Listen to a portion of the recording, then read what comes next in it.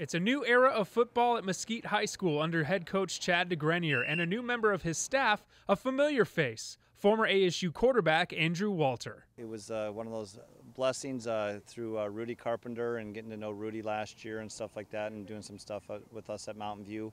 Um, obviously, that that connection at ASU with Rudy and Andrew.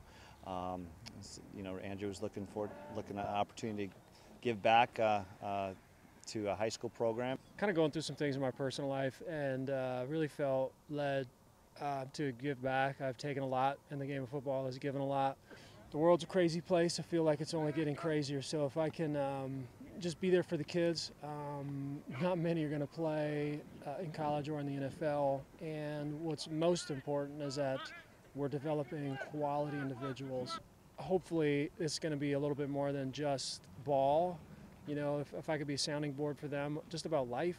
I mean, we're all going through stuff, you know. So if if uh, they feel comfortable to be able to come up to me, whether it's a quarterback or anybody else, and just say, hey, you know, you mind if um, you give me some advice about something? I mean, that'd make my my whole year.